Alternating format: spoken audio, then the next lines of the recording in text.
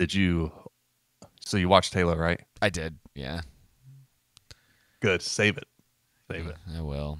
I was. I. I, I just get get mad thinking about it. it was silly. Like literal anger. I, you know what I was thinking of? I got so.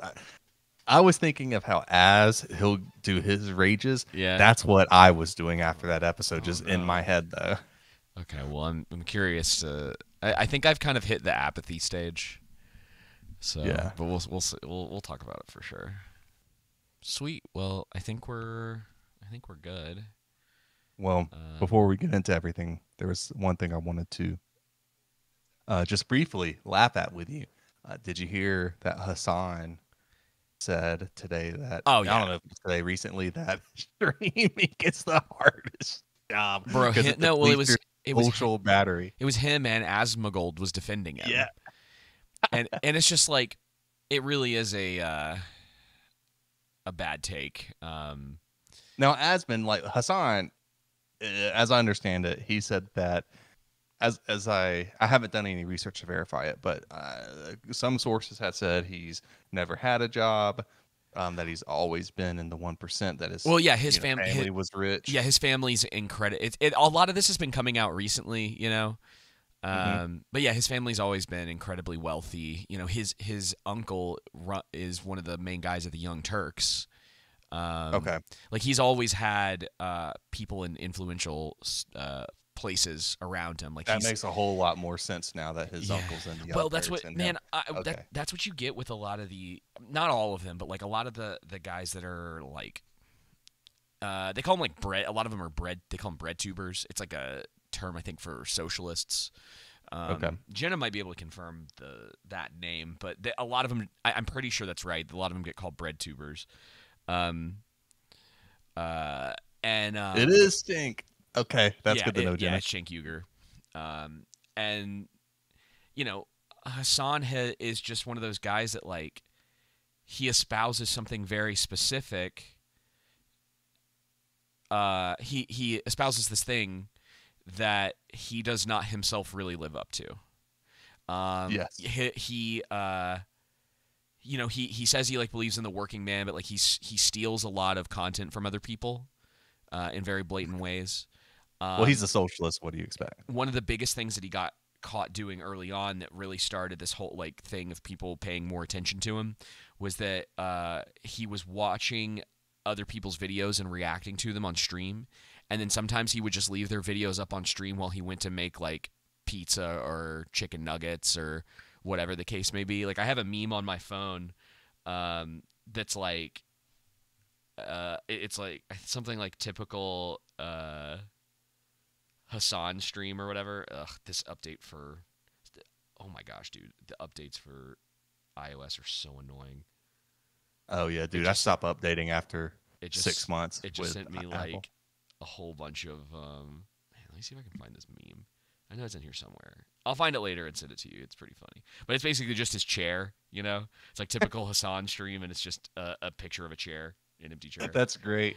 Um, uh, but yeah, yeah, I mean like I heard about that and it's it's ridiculous, dude, cuz like don't get me wrong, um it it can be taxing on you. Um I don't want to take away from the fact that like uh being uh, uh, uh, okay, so I guess it's different depending on kind of what you're doing. Um, like game streaming, sometimes it's more of like a mental thing where after a few hours, like you do get tired. You know what I mean? Like it's right, but it's not. It's not like a lot of other jobs out there. You know what I mean? Like yes, and and and you get to you can quit. You know what I mean? Like you get it. Like if I'm at work or you're at work and you're four hours into your job and you're just sort of like, mm, I've had enough today, or I feel like I've made enough money today. Like you, you don't get to just leave. No, you don't. I mean, you can, you can choose to, but then you're out of a job. You oh, can't right, pay your rent yeah. and stuff like that. Right? There's, there's legitimate consequences. Yeah. To at his level, well, and see, that's he doesn't thing. really have those consequences. Jenna, Jenna's saying that, that like streaming is zero percent hard work, and I disagree with that. Like there's there's effort that gets put into it, but it depends on the person and, and how much they actually want to put into what they're doing. Well, uh, we're comparing, right? I mean, streaming. It's a comparison, yeah. It's it's not yeah. that there isn't hard work involved in it, but it is not the same thing as like a uh, underwater welder. Yeah.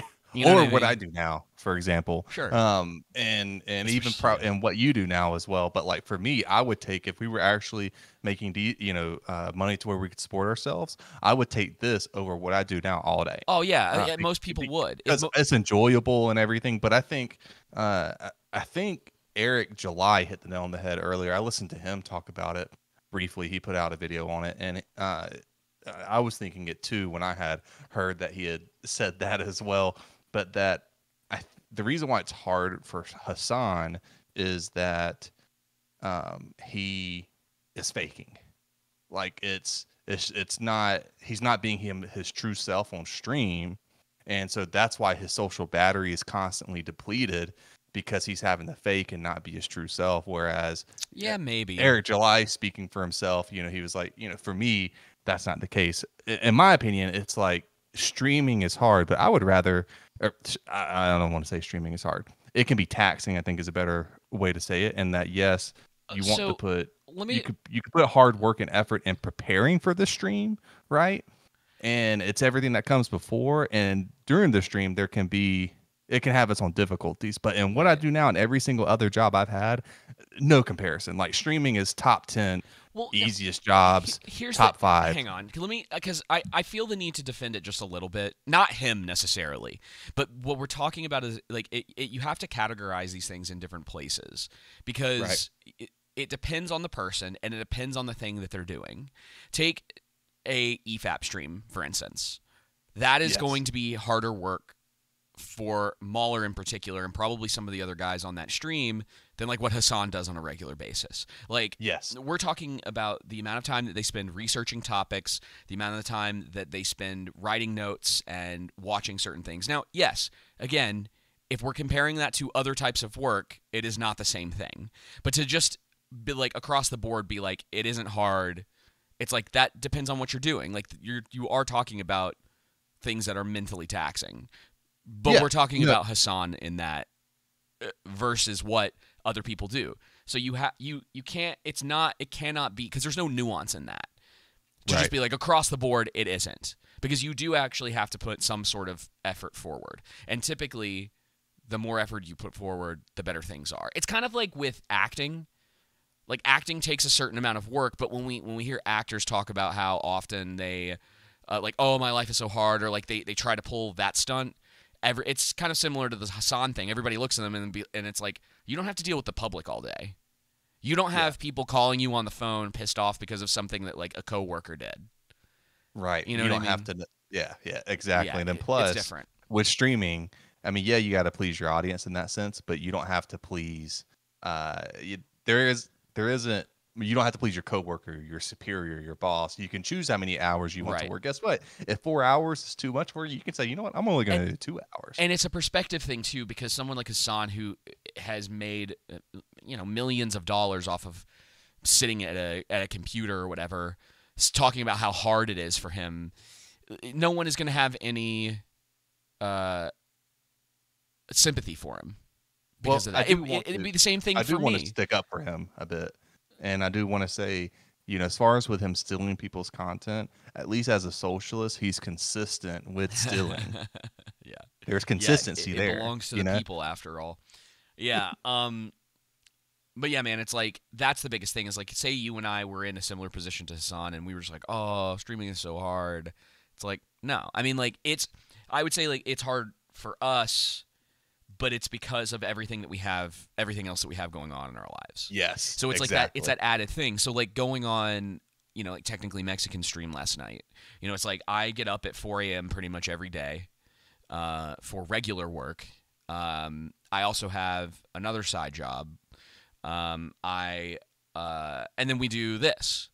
And then so Mhm. when I'm on his stream until close to 11 o'clock at night, my choice, by the way. So like not a not a complaint. It's just a a, A statement. fact. Yeah, it's just a statement of, of how it works. Um, you know, I don't typically get to bed till you know close to 11 on a night like that, which isn't normal. Nor- normally, I am uh, a uh, uh, responsible adult and, and go to bed at a, a regular time, so I'm not cranky in the morning. Um, and then you know, I get up and I go to work and I do my best not to complain about something that I chose to do. You know what I mean? It's like that that's just what you do. Yep. That's how you get through it. Because to be honest, nobody like I, nobody wants me to get on on our podcast and be like, I had to stay up late, and you know, well, because at the end of the day, it was it's my choice to do those things. I don't, I didn't have to go on that stream. You know what I mean? But I I enjoy doing it. I love talking about this stuff, um, and I enjoy uh, you know some of the. Uh, the arguing among it too, or the debating among you know people who uh, over these different topics. Um, Yep. That's the stuff. or like that- myself. Yeah. I couldn't. You, you talking about everything else we have going off because of both of our jobs and schedules and everything else we have going on. Obviously, we want the podcast, you know, to be our full time job, but uh, I wasn't able to make the stream yesterday because I had to work. and that's you just know, I had yeah. to, yeah, you know, And so- sometimes sometimes we put the thing that you know puts food on the table above this because we have to or something gets in the way and it's just like hey look this that's the the state of it sometimes we have to to cancel a week or do it on a different day or stuff doesn't get uh done immediately when we'd like it to because things just get in the way you know Yep. No, exactly.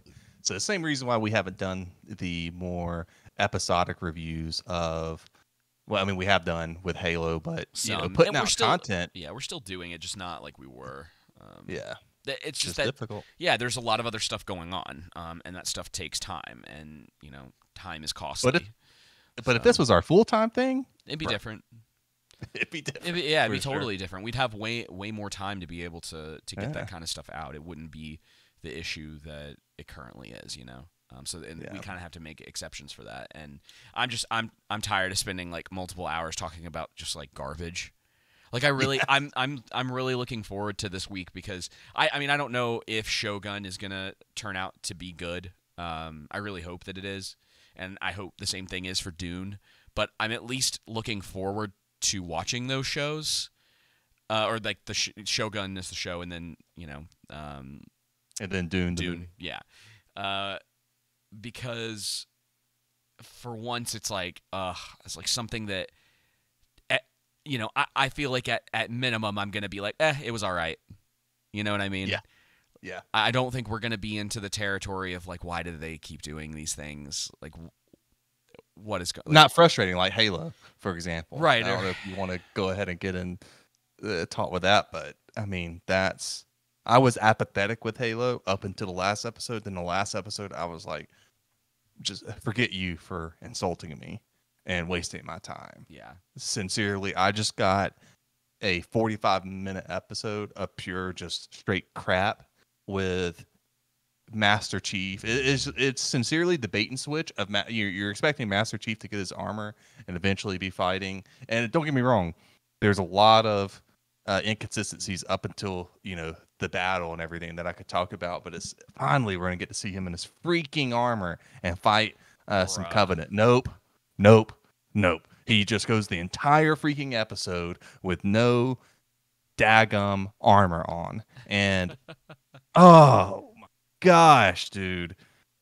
I- I just I could rip that episode, that last episode, a freaking new one. You know, you get a it, what bothers me is hearing so many people. It's fine if people want to say, "Hey, I was entertained by this episode," but they didn't say that episode episode's a nine out of ten oh or bro no like way positive because we got to see the freaking you know covenant tank with the ra- the wrath the Oh, wraith whatever it's called and we got to see you know uh, this I uh we got to see some was Covenant, ghost, some elite. Right? Wasn't there a ghost in the episode too and it's like come on the needler and everything. Oh yeah It's- the needler. yeah. come on you got to see the tank because a blind guy freaking was running at it easy as day to shoot and kill. And they've been building up the elite supposed to and the covenant to be these merciless like uh top of the food chain apex killers right? And they can't shoot a blind guy running at the tank? Yeah it's it's pretty, know, it's that and was, a blind guy can shoot a freaking grenade launcher oh yeah he's like dead on you know his accuracy. And, I, and i'm just like that I- can't. Yeah. That I- had to be written by that had to be written by uh middle schoolers and high schoolers. There is no way. It's like really paramount that oh my gosh. Yeah, it's really immature. Um, and it, it is really frustrating that they're like, well, we don't want to put Chief in his armor, and so we need to come up with this excuse that they basically like stole it away somewhere that he can't get to it. So, oh well, guys, it's just like it's it's hardly Halo. Like if this is what you wanted to do, they uh, and I think someone had mentioned this on a comment recently. They should have just done ODST or something that was specifically about the Marines in this scenario and not about Master Chief. The problem is, is Yeah. that it's Halo and people want Master Chief, but at, at, this point with what they made, they should have just done something a little bit different. And you know, Chief shows up occasionally to to help you know save them in a in a last ditch effort or whatever.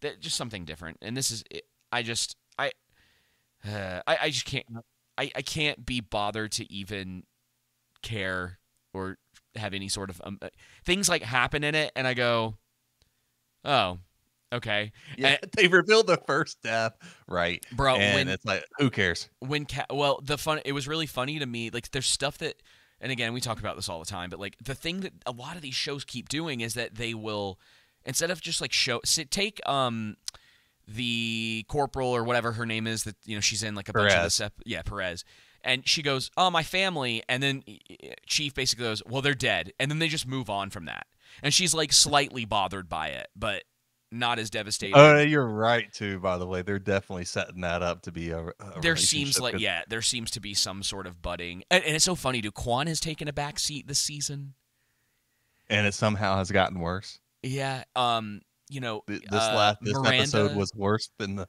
they finally mentioned Miranda in this episode Oh, I know. and then like uh, my my favorite thing ever is that they just like they basically killed off uh the the male diversity hires in this episode did you notice that Oh yes, I did. the three did the that. three I'll say main characters, even though the blind guy has only been in a couple episodes. But like three, you could uh, major-ish characters in the show, um, all black, are dead now. And when when I wish it would have been Kai and Riz instead yeah, of. Yeah, yeah, me too. I, Riz makes no sense. Like Riz was, she's hurt. Like though, it doesn't make any sense that she's still alive at this point. Like I don't understand why. No. It's just it was bad. Like all the deaths are very underwhelming. Um, Very underwhelming. I can't was- believe they kill Keyes off Dude. before you get the Pillar of Autumn as well. yeah, Key, like- Keyes is really funny to me because I was like, well, I bet he just wanted to be off the show. yeah, It's dude, not- and it's funny. yeah. Not even the even the setup for it and everything is just so bad. lame, the jackals are just staying there, They're not standing fighting around. and shooting Yeah, anywhere. he- just we're just gonna wait. Yeah, everyone's the says that the shit's the the the gas is in the air and we're about to get exploded and die, so the ship can take. Like, just come it's on. so dude. stupid, dude. I, and it, it sucks because again, uh, under more like competent management, that show could have been pretty cool. And uh, to be honest, I like the guy that plays Keyes. Oh, I you do know, too. I Yeah. I I feel kind of bad for him that this is what he ended up with. He see the guy who plays Keyes. Uh, let me figure out his name, but he seems, you know, I, I can't. I'd have to think about it uh, and check his IMBD out to see if he was in anything else I've seen. But at least in the Halo show, he seems like a a, a good actor. You know, he's at least been my uh, favorite, one of my favorite characters. Uh, which you know, I mean, this is Halo, so that's not saying much. I do think the guy that plays Soren does a good job, but oh my gosh, dude, the lines they give him. And that's how I feel with a lot of this cast, you know, in defense of them. Yeah, I just think about the lines they're giving them and the dialogue. I'm like, it's so du- the whole like bringing in the blind guy and his boyfriend. I don't even know what the point of it was. And it's like, who cares? He like kind of helps Riz and then dies. Yeah. and it's just like what are we do what are we doing you know um and- Yeah. yeah. and and so ultimately it's just like yeah it's it's a pretty i mean i guess it in the course of I, I would i think i would take more of things like episode 4 than i would of previous episodes because at least it's just stupid action versus people sitting in rooms just like really bad dialogue, you know. Yeah. And but the, and this yeah, is I agree. and it's funny, dude, because I think this is kind of similar to what they did in season one, where the mid-season episode was the one that everyone was praising, like, "Oh, it's finally Halo," and then they're, they're just gonna go right back to what they were doing before. People sitting in rooms and talking. Yeah. Um, I didn't Listen, I don't really. Go ahead. I'm I- sorry. oh, um, her her name's slipping my mind right now. The blonde lady. I didn't realize she got out of whatever. Halsey. Halsey, thank you. I, I didn't realize she got out of whatever um like thing she was in. Oh know yeah, that's because the power went out. Yeah, the little Um, Oh fake right. room, CGI room. So it woke her up. I just didn't for whatever reason I didn't even realize that happened and I I was like, "Wait, is is she still in that?" And then at some point something happened in the episode and cuz she was like, "Oh, I Oh, know wait. the way." Huh? Which one? Oh yeah, yeah, Halsey. Yeah, Yeah, okay, yeah, just making sure. Sorry, you said something that made me think maybe you Oh, were talking no. about Makee. No, Halsey's like, "I know the way out of here." And um is it Soren? He was like, Yeah, "Uh," and then like he follows her and then I go, "Oh, she must have gotten out at some point." And I was like, "I don't I don't remember that happening, but whatever." yeah, it's because of the Covenant uh, apparently got the power supply to the city and torched it, um, and thus she was able to escape because all the power went down. And if they would have just been faster, you know, more, uh, if they would have gotten to Cortana more expeditiously, Halsey, for example, then hey, they would have gotten there before Makee did, and I didn't even realize Makee was still there. I didn't like why Uh, didn't I, I? That whole dude, thing just her- happens randomly. her whole and then exi- her whole existence, Makee's whole existence so far in this season has been to keep Master Chief from dying. That's like all. That's it. That's pretty much all she's done. And I love how uh, Soren throws a grenade and it explodes. And okay, Soren, he's been Spartan. That's fine. Like, you know, he has that training. And, you Yeah. know, aren't the Spartans, I think, in this universe, kind of super soldiers in a sense? Whereas Halsey's just a regular lady. And she got thrown into the wall. Like, she would have had at least some broken bones. If not, would have gotten killed. Yeah. Nothing. Just Well, physics. nothing happens. dude, and physics in general in shows nowadays, it just doesn't seem like it matters. It's it's uh, it's all about the quote unquote drama of a scenario rather than Yeah. making things make sense in the world that's been built. Um, and they, well, you know, I, I don't know how. Uh, you know, Master Chief has this whole thing, and again, I think in in something that was a little bit better, his whole thing about being lucky, and that's just like one of his character traits. I'd be like, all right, cool. It just bothers me in this because this show already kind of sucks. yep. And so you're just like, ugh. Like it just everything, whether that was, because I think that is um like canon. Um, this idea that he just has an insane amount of luck, um, and he can't really explain why. Um, he's like always the one that survives, um, and it and it like tortures him a little bit, you know. Because they get into that in the episode, I'm like, oh, okay. It's like again, uh, under more comp, comp uh, excuse me, competent management, uh, that would work pretty well. Um, But it's it's just one of those things that adds to the list of like nothing in this really makes a lot of sense. Um, power levels still don't make a lot of sense. Um, narratives still don't make sense. You know, Yeah. this is supposed to be a big invasion of of uh, reach, and it gonna- just seems extremely minor and too uh, small. It, it, the the epicness of it doesn't make sense. And the I military thought- strategy. I'm really confused. I'm confused a little bit about um because I thought they flew to were they already on Reach, and then when uh. Uh, I was about to call him Halo for some man, my brain. Uh, when Master Chief um, took the Spartans and they went to Reach, were they just on the same planet? And they went to a different part of the planet? Bro, I don't even know. Do you know what I'm went to talking about, though? Yeah, they went to Visegrád, and I, I don't know if that's on Reach or if that's I- its own separate thing because I'm not huge into the Halo lore, or whatnot. The show didn't uh, explain it well, it's or not maybe doing I a very good job of it. Yeah. enough, or it's maybe a, a bit it's of both. It's probably a bit I of both. I don't think the show's explaining because in my mind I was like, wait, I thought they were already on Reach, and that, because when you get in like one of those Pelicans, I'm thinking, oh, well, they're going off planet somewhere. But now I'm starting to think, well, maybe they were already on Reach and they sent them somewhere else.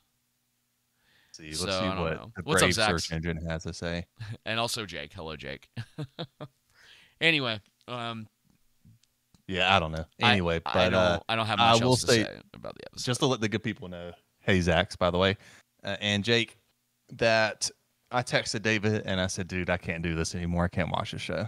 I don't mind covering it, you know, the last four episodes at a later point, But We can talk about the rest of the season when it's over. I just, yeah, I'm. I can't do it week to week. I just uh, this last episode, uh, I'm like, don't insult me and waste my time. Like, you want to do a. It's just like you said. They should have done something else. This wasn't it. And not only that, even if they did ODST or whatnot, this still wouldn't be a good show.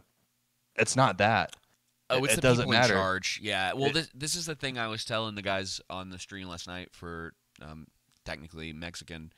Um, i- i- it's what we talk about here all the time. Is that the it's all about making content. So you're churning things out. You, I'm, I I am assuming a little bit here, but maybe you're getting a single rewrite, but uh, you can tell between this and Avatar, um, there's not a lot of rewrites happening.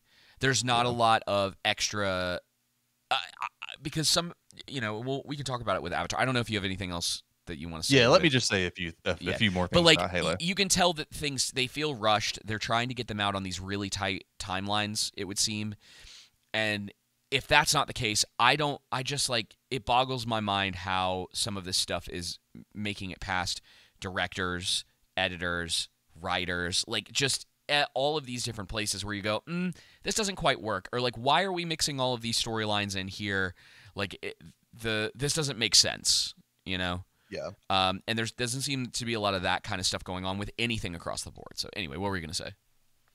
No, I was just gonna say with Halo, you know, I I, I kind of stated alluded to this earlier, or stated actually earlier that they build up the elite to be this unstoppable force, these excellent and skillful fi- skillful fighters, and they should have just glass like just completely ran through a Master Chief and his team. It should have been essentially no issue because the Covenant had all kinds of advantages, Oh, dude, including the Spartans so- not having their freaking armor. No armor, no Number- guns at certain Yes. points. It doesn't. It And- doesn't make a lot of sense. Like, Nope. And then number two, that last that battle scene you get with them going on the bridge. I don't know if you remember, but before that, they show the wide open area, and there's like three, four uh, places I noticed right off the top that the Covenant could come from anywhere, and so it seems Right. dumb that, especially since they have the higher ground, I imagine their ships have some kind of radar detection to know where a lot of those troops are stationed. But even if not, I imagine the elite have eyes and they can say, "Hey, look."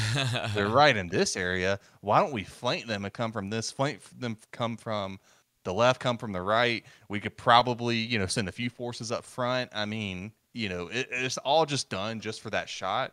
And that's what I mean. It's the same thing with Game of Thrones episode three. You the cinema uh, season the eight, cinematography of specifically. episode three and yeah of season eight. That scene looks good, but it doesn't make any any sense. Um, and that's the same thing with this. And I mean, I, I, I think at this point I could probably even argue it doesn't really look that good.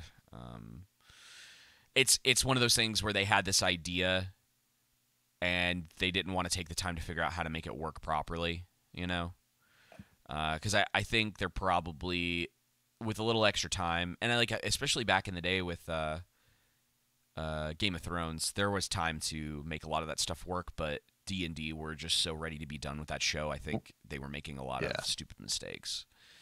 Yeah, Um, yeah, I think they were over it. But uh, you know, it's interesting because you really don't. I remember Viggo saying he was asked this question uh, in an interview: "Do you get annoyed with people coming up to you, uh, talking about uh, you playing Aragorn and Lord of the Rings and stuff?" And he said, "Not at all. That's one of the most positive experiences of my life. It, it really helped launch my career and stuff like that." I remember Orlando Bloom saying that he only got paid $174,000 for all three movies or whatnot.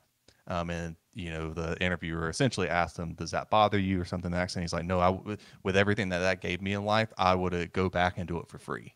Um, Yeah, I mean, yeah, for and, and so having this thankfulness for being a part of something, and you don't really see much of that. And with care and the attention that Peter Jackson put into it, I mean, Yeah. with Lord of the Rings, we really got a special uh, time Well- in cinema to have all three of those movies. And with this, with Halo, this just shows it's just not there. And I, and no, the uh, I may have mentioned it. what hello.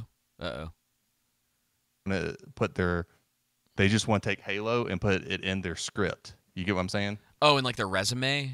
Yeah, in, Yeah, their, res- okay, in their resume and in their script, like their script is already created, but hey, uh, instead of you know person Mel A one, it's going to be Master Chief, and so it's already kind of outlined, and they're just pitching these IPs to get their Right. scripts they've already have written made. So it's all. I think it, it's it's probably across the board because like I can't. Here's the things. Like this stuff has to get made. You have people, um, in these positions where, you know, say you're like a lighting tech or you're someone who, you know, you're like I, I need a job. You know, just like everybody else. Like they're looking for work.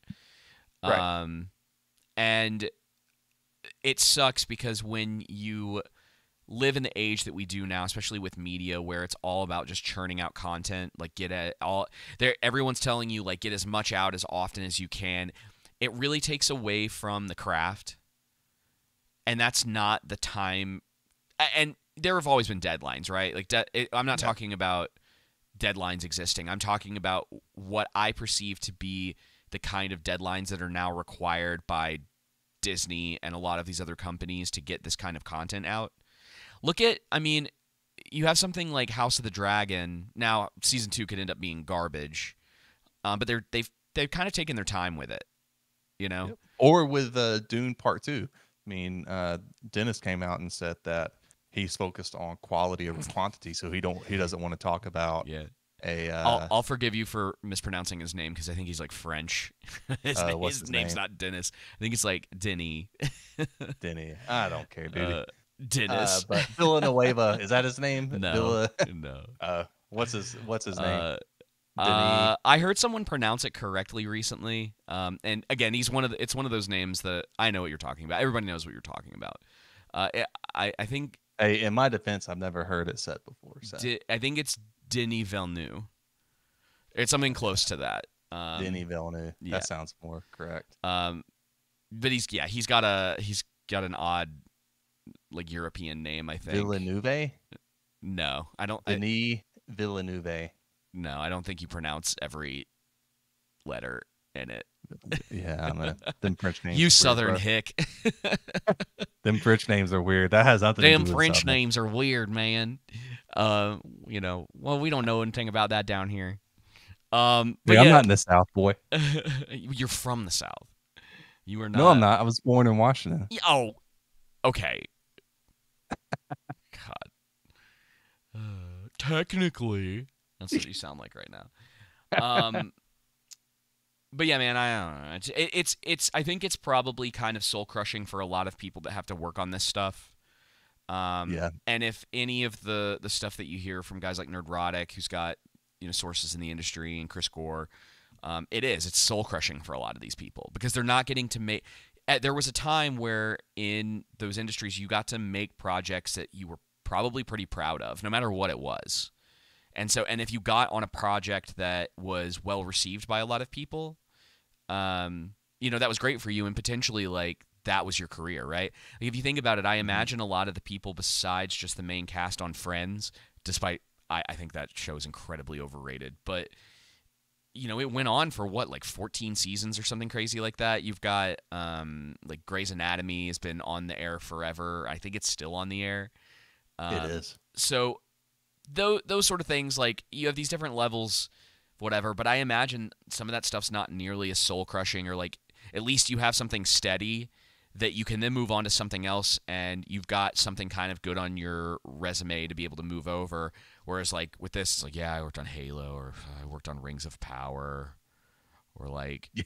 uh and it that just sucks man like having to have i would think having to have some of that stuff for your portfolio uh, would be frustrating, you know, um, and and in some cases maybe a little bit embarrassing depending on who you are, and that's why, man, honestly, that's why with like a- actors sometimes like people just disappear because they end up in r- like roles that are not great for them and they're terrible career choices, and it it ruins their chances.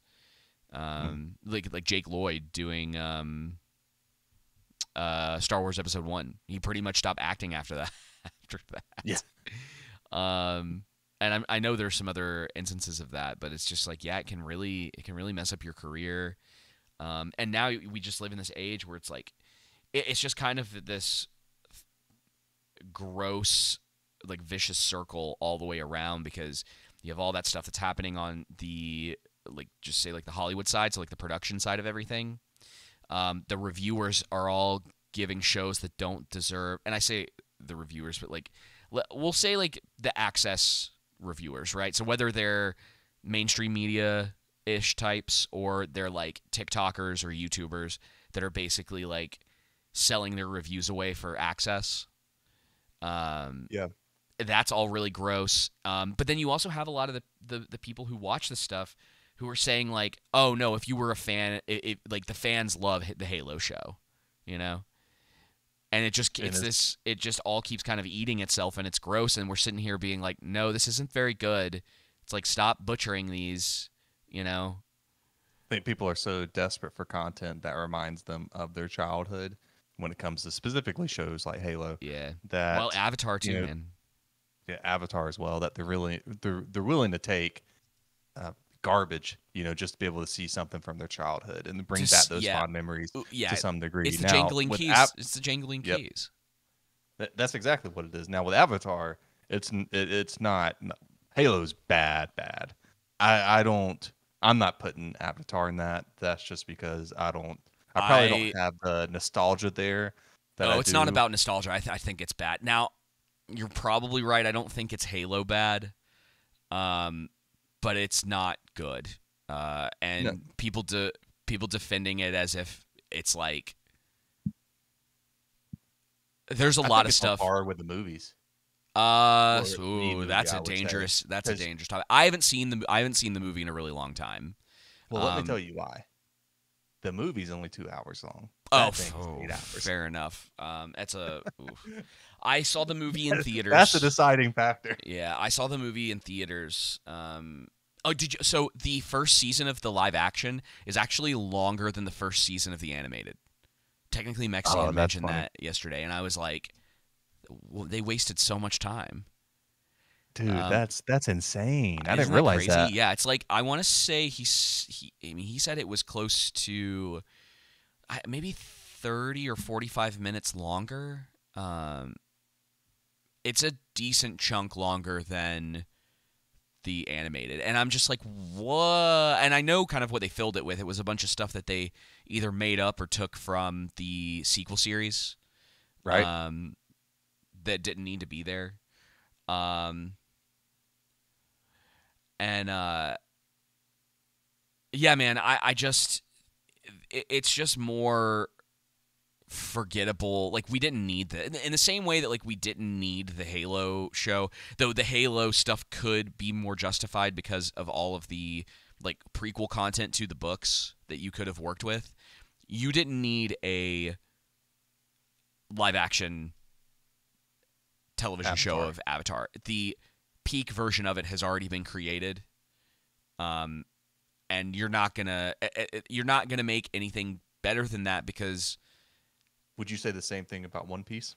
Mm, probably, yeah. I mean, I, I as much as I um, do like the live action version of that, um, they at the at least with One Piece, right?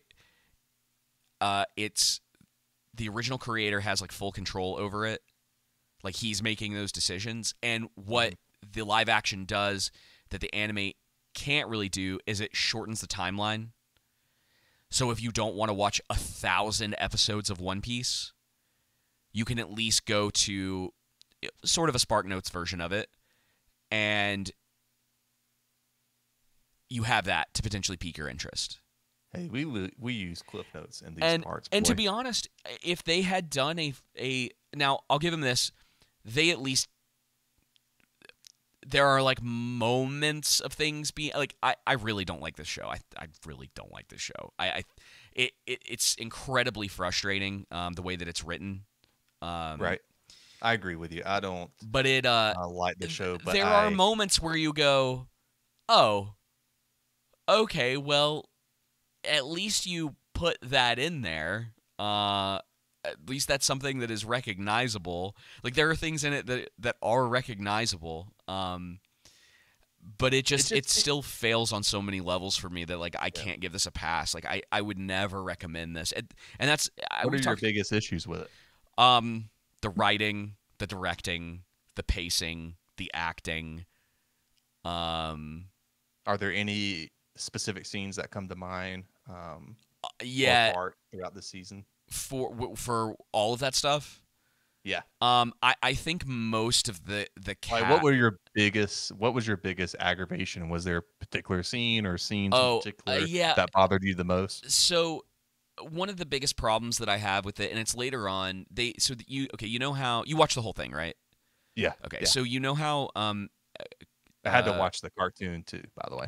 A- um Aang gets trapped in the spirit realm, um, and uh, the three of them are there, and uh, sorry, give me one second. Oh, Kai, Um, Pro. What was the freaking? Oh name? yeah, yeah, yeah, yeah. Uh, Koh. Um, and sorry, I'm trying to keep my Oh, thoughts sort of uh, put together. Together. for this. Yeah. Um. No, you're good. I uh, was I was it, this this Oh, series seemed like they created it. I- think I said during the stream with technically Mexican when I got in the chat. I said it seemed like somebody told the writers about Avatar: The Last Airbender, and then they sec you know kind of third hand wrote. Well, that's what I was telling them. It was like spark. It was like Spark Notes. So they they gave them certain aspects of it because we had been we had talked about that a little bit. There's stuff in it where you go, oh well, that was a thing, and then uh, but it's like everything's out of order, or they do certain things that are like, hmm, I, why did they do that? You know, I got to go back and watch this really- M Night Shyamalan version of this. It was really weird because it it seemed as if there was no connective thread through each like most of the scenes in each episode. Mm. If that makes sense, it's like Well, it depends they, on. they said yeah, let's do this scene, then let's do this thing, but it just doesn't. The flow and the uh, natural direction to it Yeah. just didn't seem to. It just seemed odd and out of place. So okay, so what I was And and go ahead. what I was talking about earlier with uh, that that stuff that happens later on. So like Aang, Katara, and Sokka get trapped in the spirit world. Right. Um, they all get separated. Um, they're like facing their fears or whatever, and then Aang figures out how to get out. Um, he meets Koh earlier than he should because originally the entire point of him meeting Koh was so that he could find out uh, about the the uh, sun and moon spirits in the northern water water tribe.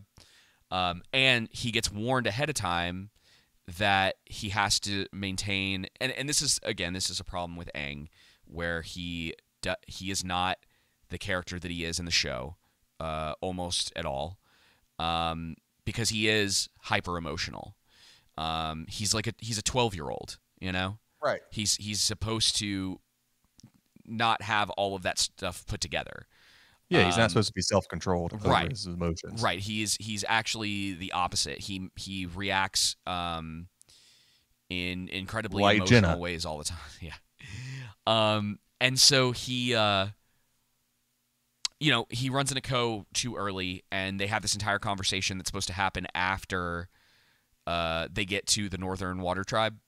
So he does all of that, right? And then at some point um he meets his old mentor and his old mentor tells him that he needs to get a hold of um, I think Kyoshi, the previous Avatar, uh, which in the series is something that happens way way earlier on.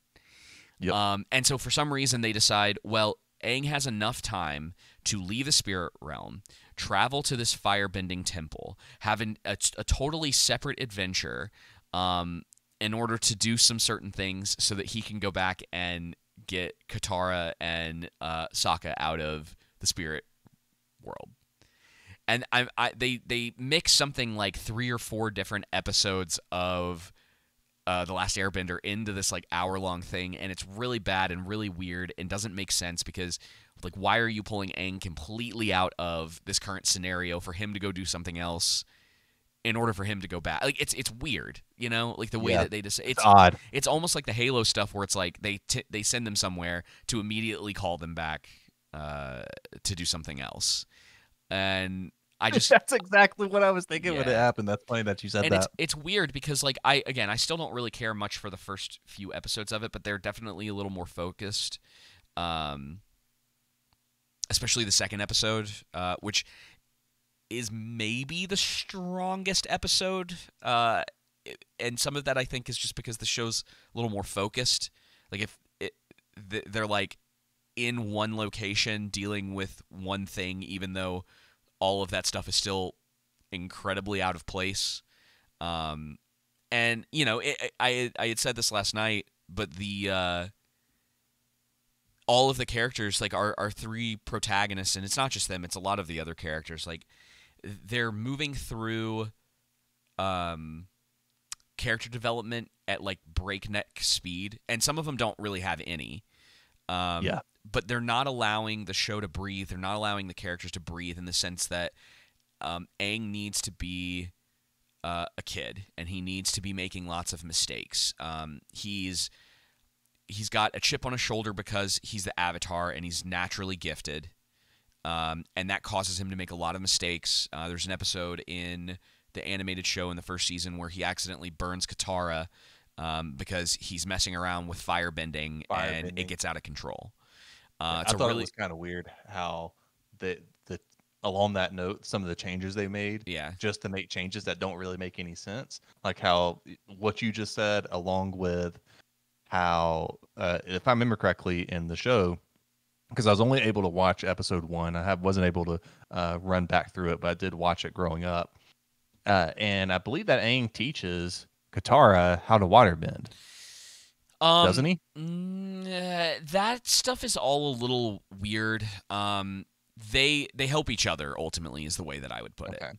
Um, they they uh, I, I would I would probably argue that the two of them um, push each other to become better.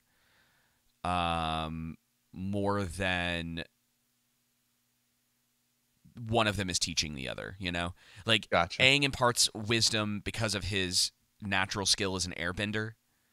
Um, but ultimately, like Katara doesn't really learn how to, and Katara is naturally talented. So, like one of the things they show you in the first, ep- like right off the bat, is that she's strong. Like it's there's not a question that she, because she basically is the one that breaks Aang out of the ice, like because of her anger and because she can't control her water bending. That iceberg breaks, and they find Aang inside of it.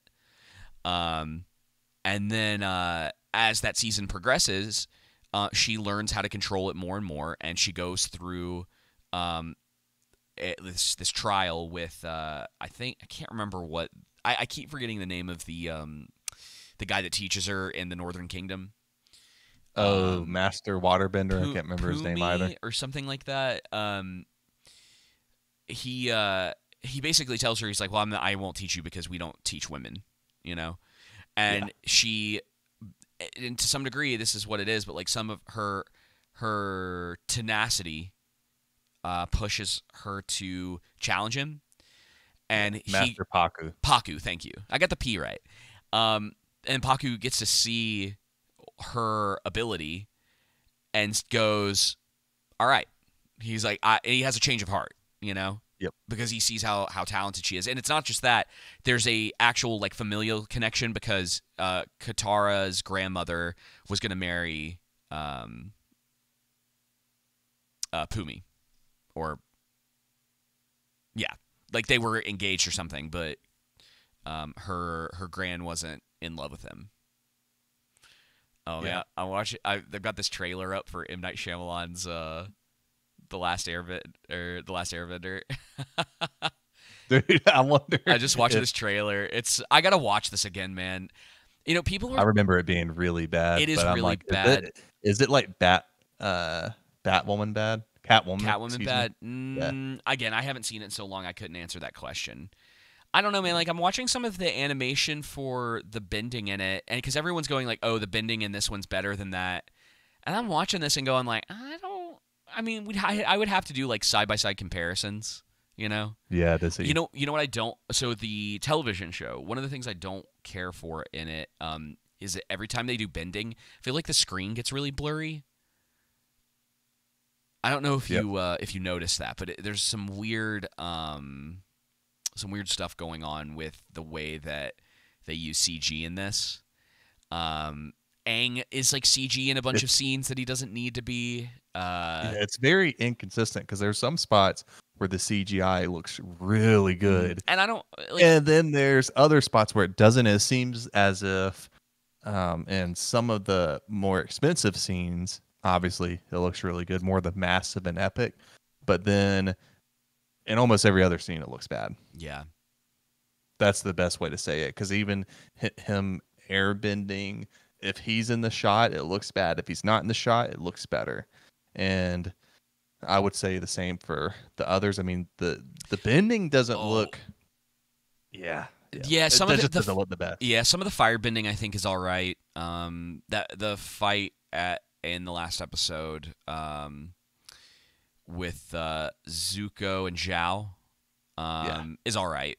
Uh, but I don't know, man. Like, it just it's it doesn't do a lot for me. Uh, ultimately, and like I, the exposition in the show is really annoying. Um, Oh, dude! A It- lot of times they just turn to the camera and yeah, they're just talking directly to the camera, telling you what's going on, and it's it's it's like I because I had sent Dude, that to the- you. I were like when I started watching it. What was that like Thursday or whatever? yeah, It was like uh, we weren't five minutes into the show, and they're just telling you everything. Uh, that whole like the first 30 minutes of that show is basically just exposition dumps because they don't trust the audience to be able to understand what's going on and you know the audience is dumb dumb. They Yeah. don't. They know understand uh, subtext and subtlety. Right. Tech, technically, Mexican made like a really good point because he brought up the uh, funeral scene from um, House of the Dragon. That the whole thing isn't. There's like no dialogue in the scene. It's just all these different characters shooting glances and looks at each other. Um, and you're getting a lot of the subtext of like what these people are thinking without them having to say a word. And there's actually quite a bit of that in that show. Actions that are taken. Um, uh, the way that people like look at, you, at each other and things that are going on in it that is telling you a lot of different things uh, without having to directly uh, spell it out for you. Um, and someone they they they had asked me some question about it, and I was like, yeah, I was like, I feel like this show is is for people who can't. And what I meant to say was like, uh, you know, read into that kind of stuff, and I I got cut off at like read. And so everyone was, I thought that I, it said it's like the show is basically for people who can't read. and I was like, well, it's not what I meant. I was like, I'll stick with it though. It, it's good enough. It's a good enough insult. And it's some people will say that as far as with the Hey, pop culture. And subtext that well it's a kids show and it's like well this was originally a kids show that had a lot ah. that had subtext and subtlety to it and Bruh. I Why do people I- want their I- kids to be so stupid and just brain dead entertainment? You know what I mean? I, I've yeah well that's what I was gonna say is never understood is that. that with Tolkien, one of the reasons why he disliked Disney was because he thought that they dumbed down their material for children. He thought that children should be given more mature material.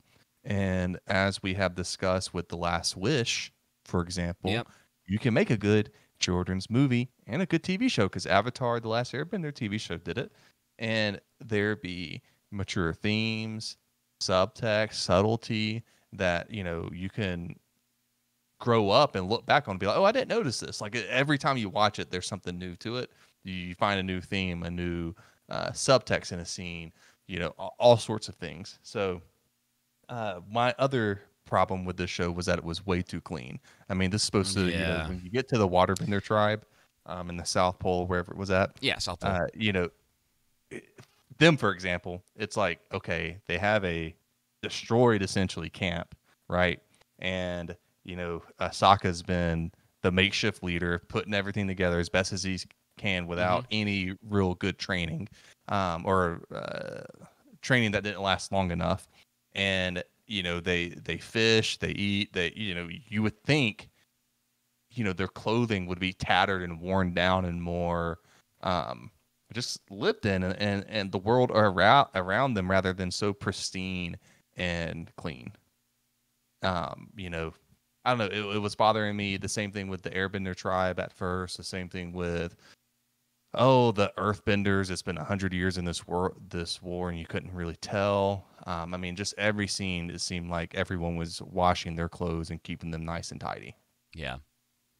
Yeah, it's it's weird, man. And I I had, I I had told them on the the stream last night that it just looks like all these other kind of fantasy esque shows, or it, the Wheel of Time, uh, Rings of Power, this, The Witcher. uh, The Witcher. They all have this like similar look to them, and it's just this like bad streaming TV look. There, there's nothing about it that, that yeah the worlds don't feel lived in. Um, Seems like I'm watching cosplay. to some degree, yeah. Um, and that's the thing is like I think some of the costume design had they had they done a little bit more um, with it, I, I think it would have been fine. But like, man, there's a lot of CG in in it, and like it, stuff just doesn't. Everything did it, it just kind of felt off. Um, and it did, and it just Mm. you, you go and you watch Lord of the Rings, and you see like every person you meet. It generally seems like hey, they've been living in this world. Things are tattered. Yeah, Things have dirt on them, dust on them, uh, cobwebs, etc. Uh, clothes are worn, um, and you know you, these shows we just mentioned, everything is pristine, even though they're trying to tell you that no, these people have actually been living here. There's been war going on. There's been all all this hardship, but it doesn't seem that way.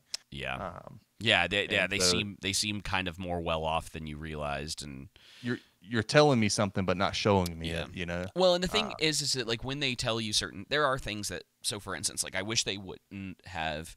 I I'm in the camp of like all of this uh, stuff where they they were showing you like pre, or like Aang before he gets um like frozen, or they show you like Katara the stuff with like Katara's mother dying, um and it's Sokka's mother too, but you know what I mean. Like she's the one that that's like her one of her things in the in the season.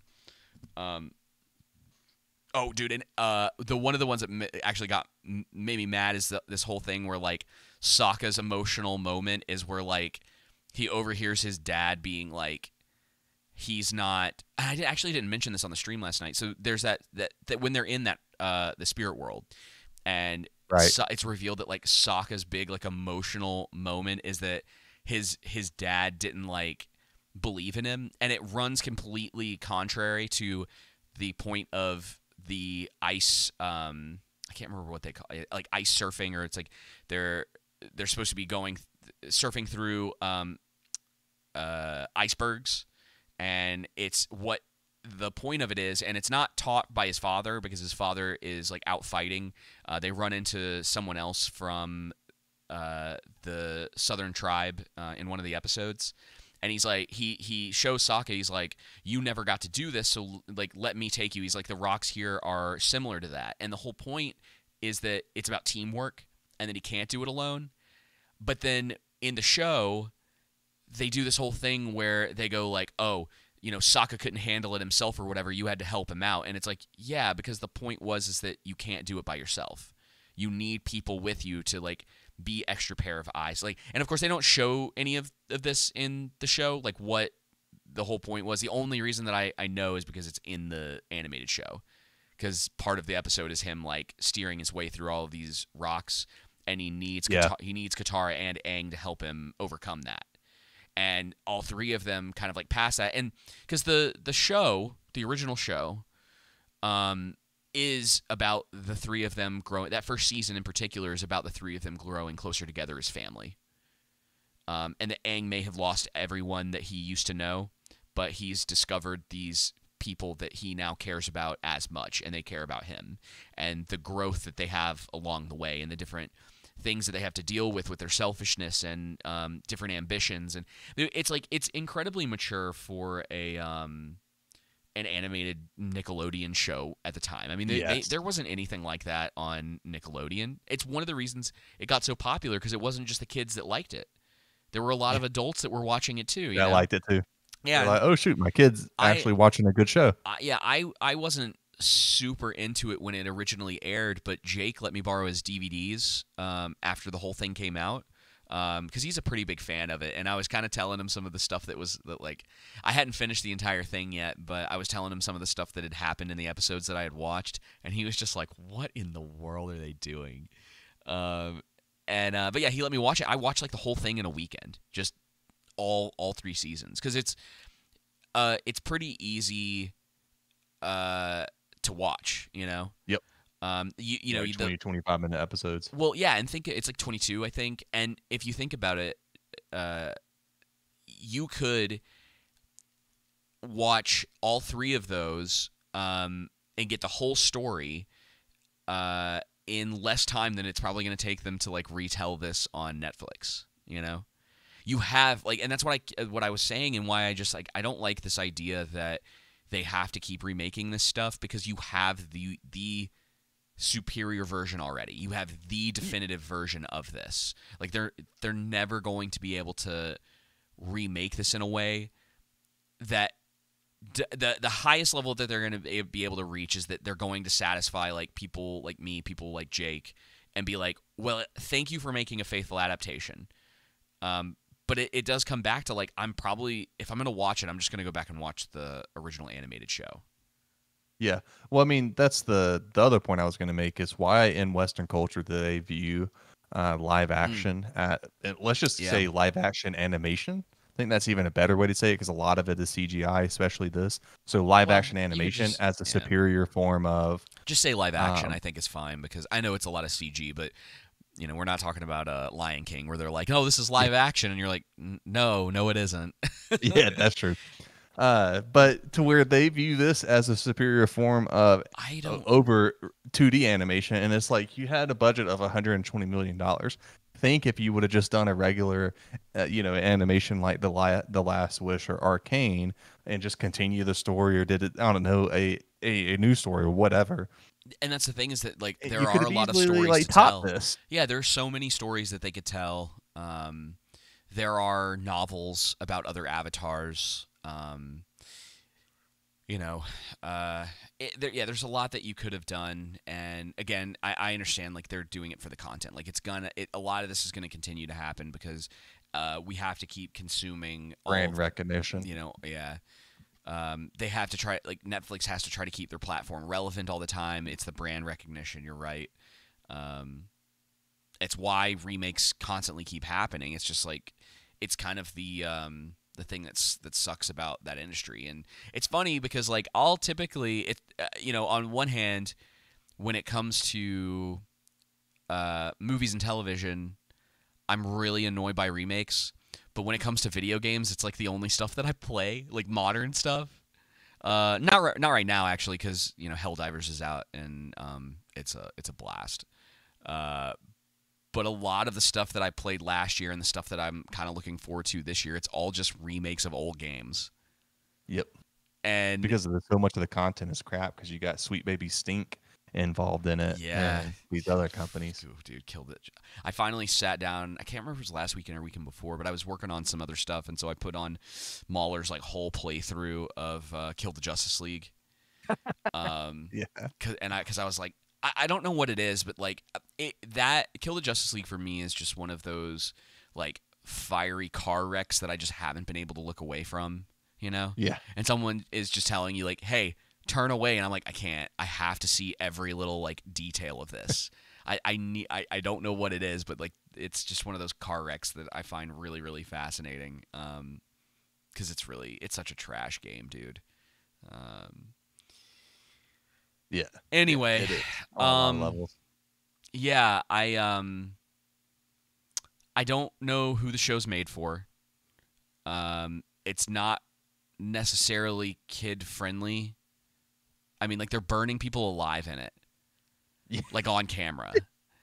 and, I and was thinking that. I was like, isn't this supposed to be a kids show? yeah, and and then like there's there's like a tiny bit of cursing in it. Nothing like crazy, but there're just moments where it's like they do stuff in it that I'm like I feel like you guys are really trying to be edgy with this. But then I'm thinking to myself like who is this for, you know? But you got you got to know your content, and Avatar isn't the show to be edgy with with kids. Not that you should necessarily do that anyway. no, there's there's a, there's a lot of if mature, you're going to, this isn't it. there's a lot of mature stuff in the show, things that they talk about, events that they allude to, um, but it's a lot of stuff that they don't show. And again, yeah, I think part of that is because of they, you know, okay, for instance, right, like uh, we've we've talked about um, in the past, like the restraints that some filmmakers have, like say like Peter Jackson or um, uh, even like um, Joss Whedon on like Buffy and Angel and other things. Like you're always gonna have like certain restrictions in your shows or your movies, and it's supposed to help kind of like elevate the content because you have to figure out ways how to do all of these different things. Um, and that like doesn't that doesn't happen anymore. Um, and some of that is because it seems like these budgets are so bloated Bloated. that they Yeah. don't have to figure out problems anymore. Everything can just be solved. Yeah. Um, They don't have to really think of think it through. They can just get on Chat GPT. yeah, Eh, man. Some of the yeah, some of the CG in this, I was telling them, I was like, it feels AI generated to me. Just like some of the work that they did on it, it's weird. Yeah, Um, text to prompt, text to video. That's yeah, yeah. I don't know. It's it's weird. Um, I was Yeah, what's the, it just wasn't that memorable. I, I know that um, what's his name, General Iroh and uh, Prince Zuko, Zuko, their their dynamic at first it was really odd. As the season progressed, it kind of started to work more for me. yeah. It got better as it progressed, but well, and that's you know, the out, that's the thing is like I, yeah i think i would agree with that um i don't really mind a lot of uh Sokka in this you know um i think his whole like like it's weird because they took a, they i don't know if you remember this but because I, can't remember if we talked about it on the show but they he's got like he's like a sexist or whatever you know Yeah. uh, and in reality he's just like a 14 year old boy that likes girls and has you know he hasn't seen a lot of the world um, so he he makes a lot of like stupid comments and he learns from those things throughout the course of the show, uh, and really like grows up. You know what I mean? Um, kind of the person that he wants to be in episode one of uh, the original show is pretty much who he is by the time it concludes. Right. Um, that's his arc. He's and it's it's pretty great. Um, and you know he he's like good with the ladies, like that that that whole deal. Um, and I his his like chemistry with um, her name's slipping my mind. Uh, the girl in that second episode. Um, oh yeah, what's her name? Uh, the warrior, the um, the Kyoshi, Kyoshi warrior. Yeah, her name's slipping. My, I'm pulling it up right now because Okay. if I can find here it is. Um, I was like, I again, I've got a lot of problems from like a perspective of like where the original show was coming from, and I don't like that they messed with a lot of that. Um, but the two of them have decent chemistry together. Yeah. Uh, They actually did. She she was actually one of the more standout actors in the show to me. Or I should say actresses, I guess. Uh, I'm trying to see. She's only in that one episode. She probably doesn't. That was um, it. It's just the one. Oh wait, I think I found it. Hang. Oh no no no, that's Avatar Kyoshi. Um, her name's slipping my mind. Anyway, I I thought that the two of them and and the guy the, the guy that plays Sokka. I don't know if it's because he's a little bit older than the rest of the cast. Um, but he's pretty good. Uh, for what they gave him, you know, like he's Yeah. trying. He you He's I trying. I can see there's like, okay, you kind of at least underst- understand like some of who Sokka is supposed to be, but they take away so much of his character, like they do with everybody else, um, that there's not a ton of growth there. And then like, you know, I there's as- aspects of him that I liked where he um, the stuff where he feels the need to keep the village in order and that no one else like he doesn't have anyone else that's helping him to do that. Um, but they don't really go into a lot of that once they leave the village. Um, none of that really carries over into anything else that he's doing. Um, and it all seems kind of clunky anyway. The writing with that and yeah, with yeah, it doesn't. It doesn't fully. I, I there's pieces of it that I see, and it's why I'm kind of with you when you say like Halo is definitely worse. Um, oh no, this is Oh, her. yeah. What is this? What is her name? Halo is definitely worse than this. I mean, by far Yeah. worse. I mean, I think there's more logic in this show, things that flow than than with Halo. But- Um, yeah, at least like the writing in a lot of ways is simple enough that you see like the the moment to moment. The direction they're trying to head, and with Aang and with Katara, her name's Su- her name's with- Suki, by the way. Suki, okay. yeah, in that second with episode. child actors, there's a way for I'm sure there's a way for the showrunners, the directors, to be able to help out and um, redo scenes so that it functions better and their acting comes across better. Oh, for sure, and that's that's one In- of the, the in the problems with it for sure. Um, I, I Katara's actress, like all of her dialogue falls so flat. Um, and to be honest, it's a talent thing, but it also is a direction thing. Um, there's a lot that can be, uh, and and honestly, some of it might be editing. Um, I'd have to go back and watch some of the stuff, uh, particularly like early on in the show.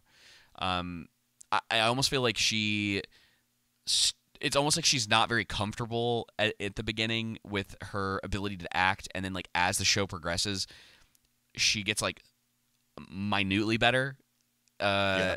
but then like dude there's the freaking like uh northern water tribe avengers endgame moment with all the women dude I was dying. I just I was like I can't believe you did that because it doesn't it's like again they do it because they're trying to uh have this like girl power moment but it's like it doesn't make sense in the context of your show. no, it doesn't. You're you're doing this just um Well- out of like a pride thing instead of it making sense for the show.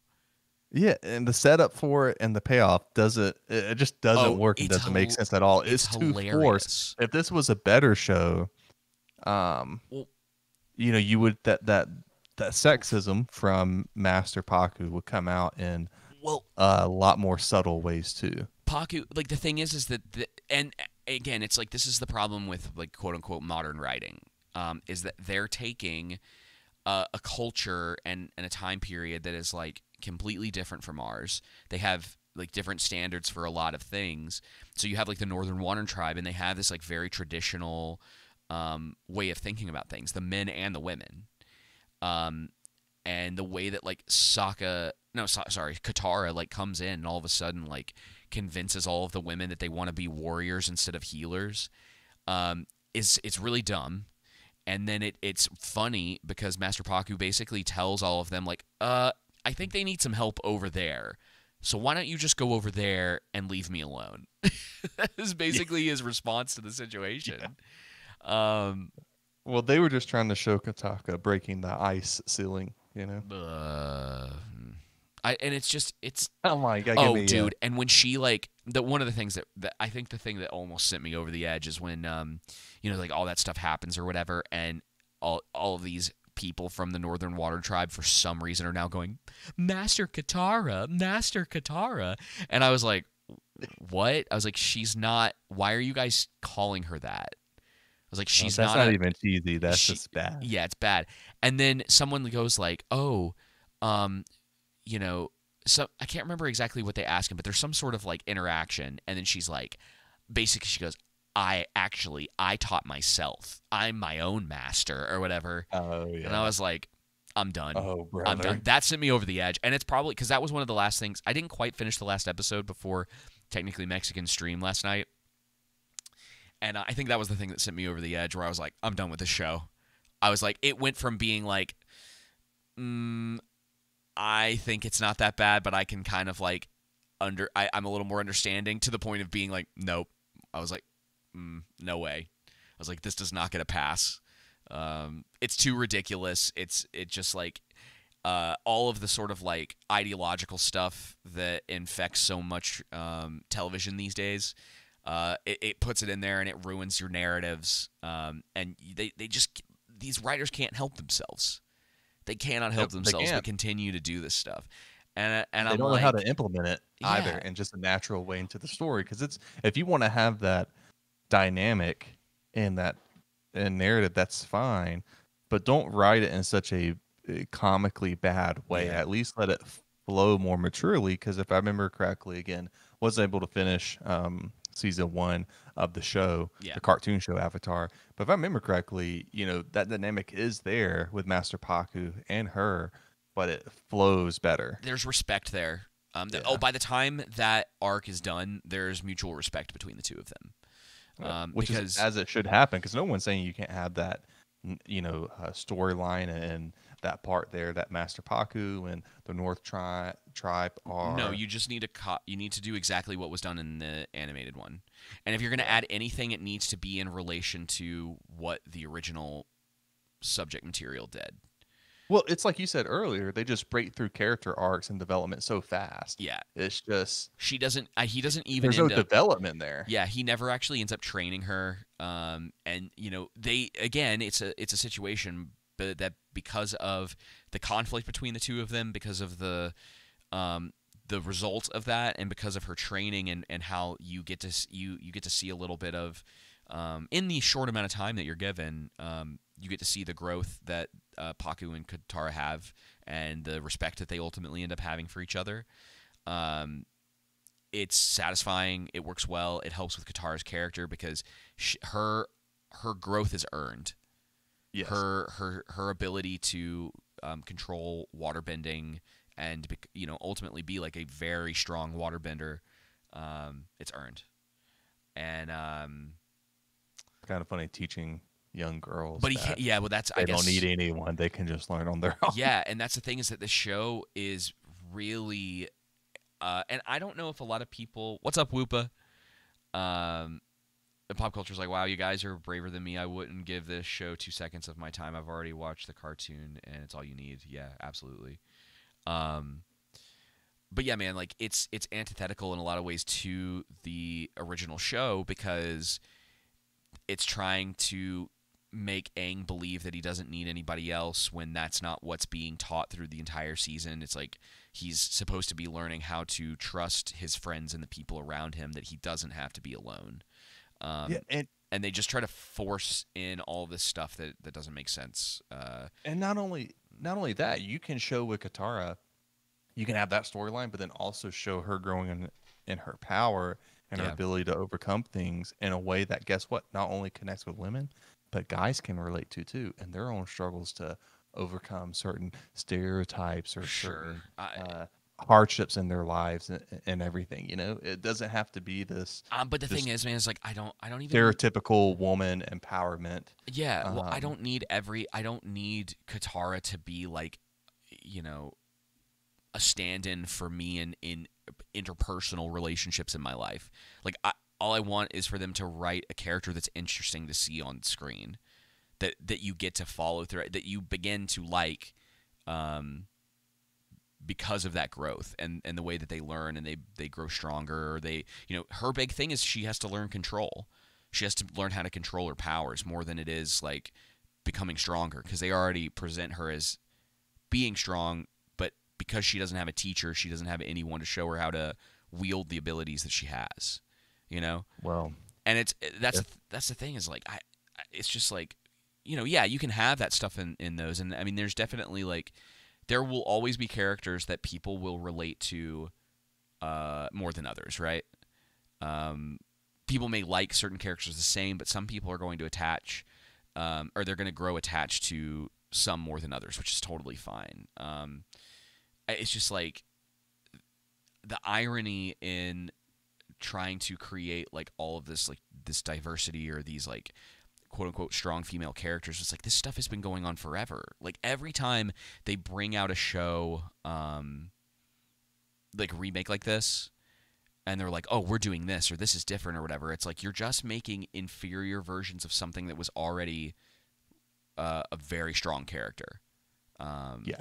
across the board um and it's just ex- it's like this is the stuff that's like exhausting where it's like uh, like why do you guys keep tripping over yourselves to do this I, you know they kind of have to right? I mean like we we all know about like their um their check boxes at this point uh, and the Yeah. stuff that they're required to do. Like it's not even a um it's not a question of if it's even a thing it's like it is and it, it's like it's almost like how much can they get away with not having to do you know? Um, and it sucks because then like every time you see certain um, actors in roles now it's like was this just because it was required by a checkbox or, did they earn were this? they yeah or were they the best person for the role Yeah. um, And then that's an unfortunate thing that having stipulations like that bring up. you know? Yeah, yeah, because then you everyone begins to to question that, or assume it and point directly to it, and it's just like gross, and it's it's something I don't like when when talking about these things. Like I, I want to talk about how good something is, right? They're the quality of like uh, the performances or the way that it's directed or the storytelling and the narrative or the narrative like that's the stuff that I, I and we you know we talk about this all the time that's the stuff that i want to talk about i don't need every time we we do this i don't need to have a big discussion about like dei and wokeism and excuse me and like all that Yeah. like i, I just get Focusing on the you know. narratives and the plot Yeah. and the let's talk uh, about what character arcs, yeah the cinematography, the editing, sound mixing, etc. It's more Sure. interesting. But then you have situations to where it you can't help but point it out because it's just so clear that this is just the primary. This is the caboose of this entire story is their ideology. It's the same thing, you know, when talking about the Rings of Power, them inserting their postmodernism ideology into it into a traditional work that uh, it just doesn't It doesn't work yeah, and, and and with here it's like they're changing things they're doing that and with the earth tribe and um with the sibling love i think it is. I know on technically mexican stream he was saying it was um uh lesbian love but no no i no, thought it was no no no. So oh you mean the uh the two women? Yeah the two women. I thought it was sibling I th- okay. I remember that you having that comment there. I guess I would have to go back and watch it again, but I assumed lesbians as well. okay Um, and I th- that is partially because, but I could see where you're coming from only because Katara and uh, Sokka. That's what quote unquote saves them, even though that's not how it works in the show at all.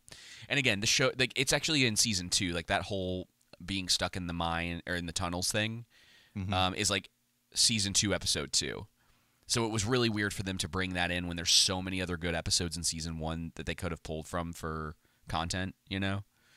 Um, and the original show's a lot funnier with that because that like weird band of um, nomads that they meet in the tunnel, um, they actually get stuck with Sokka in that episode, and so he's like trying to take this seriously and find his way out and there's just these like minstrels behind him constantly playing music about what's happening um, it's just a fun like lighthearted joke which is something that Yeah. the show is severely lacking like any all the jokes in it are not very good and then there's just a lot of it it was getting into like Zack Snyder territory for me where I was like why is this Oh, show yeah. trying to be so edgy Yeah. Well, what I was going to say is, is that with the the reason why I brought up uh, with the Earth Tribe, uh, the the sisters or the the lesbian lovers, I guess, uh, was that when you do something like that, you can't help but notice it, and it kind of it takes you out because why are you making that change? What's the point of it? Because it, it's unnecessary. You know what I mean?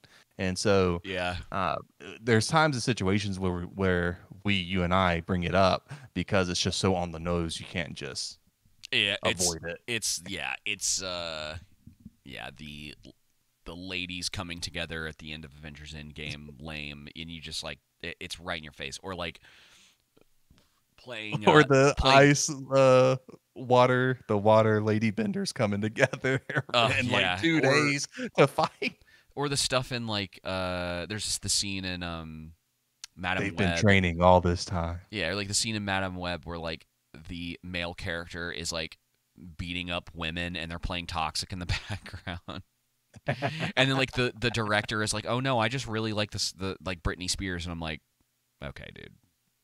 Yeah. Okay. Um, we was asking if Sokka is super lame in the show. Um, no, he just doesn't. He doesn't have a lot of character. he doesn't have a lot to work with too Yeah, there's just not a lot to work with with the, most of the main cast. Um, so he's not, uh, you know, he he doesn't get to like mature and grow into the person that he wants to be. Um, he just kind of they're just they're moving way too thr way too fast with their character arcs, and I just don't know, you know, because this uh, I was asking technically Mexican like, is this renewed? Like, are we getting a season two? And he said that he thinks they're already starting to shoot it. Um, doesn't have a lot of character. I mean, that seems the definition of lame. Yeah, I well, I guess maybe I'm just trying to like search for stuff in the show that I I didn't find to be horrendously bad, and like his actor's just not bad. He just doesn't he doesn't have a lot to work with, um, unfortunately. Uh, Um. and the best stuff uh, that he does is that his relationship in episode two, and then I don't know the rest of the season. Yeah, he's he uh, everything just sort of gets worse as the show progresses. Um, Yeah. which is weird to say, I think, but They needed to stop and have more kid Oh. moments and less of Aang agonizing consistently And- showing us him literally giving us the words. yeah, I, am agonizing over being that avatar. Yeah, he's like, I just want to be a kid and I don't want to do this, and and it's like, oh, thank you for telling us all all of this in the first ten minutes of the show, rather than letting us discover this as time goes on. Or thank you for telling us for the hundredth time in episode Yeah, by episode eight that that's how he feels. His Yeah, we were completely unaware. yeah, who knew? And they do that a lot, dude. Where like certain situ, I can't remember what it, I wish I should have I should have written it down. There's a scene later on in the in the show where like a, a certain character, uh, like something happens, and then another character literally comments and says, "This thing just happened," and you're like, "Yeah, yeah, we we saw that." I love that grandma in episode one wasn't in episode one. She gets up and just gives this narrative spill randomly about the avatar. oh, well, no. So that's the did not work. Well, that's the opening of the series, the original series. So it's the it's like their oh, your opening like title or whatever, and it's there because that's just your here's the the world that you're jumping into. Get Yeah, here's no, like I get that. Yeah, It's It- just the delivery oh, it's bad, and yeah. everything. Just yeah, it's bad and just it just seems so random and out of place. it is. Yeah, and it's just there to be like, hey, remember this?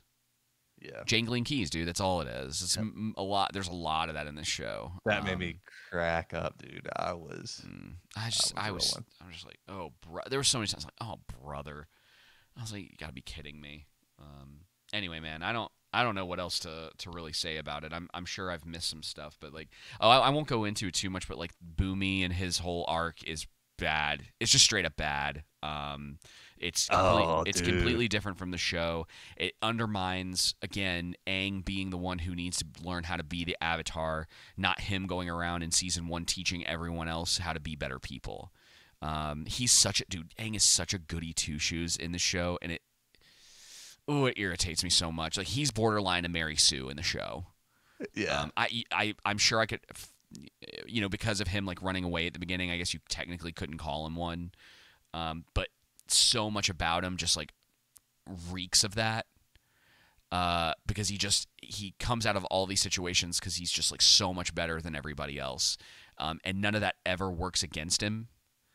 Um, and it, I just I hate it so much. Um, it's irritating. Um, I think I think a good way for me to describe the scenes and the episodes of the season is they don't work in harmony with each other. There's no Yeah. they seem disconnected to me, and Yeah. there's no thread through them. and you know there are I it, it's maybe it's a, a product of the original show but like there are definitely uh there are standalone episodes in the show that like if you missed that episode you're probably going to be okay moving forward but there are quite a few episodes where you learn about uh, characteristics of different characters um, so like commander zhao uh, again, going back to the episode where Aang is trying to learn firebending for the first time and he burns Katara.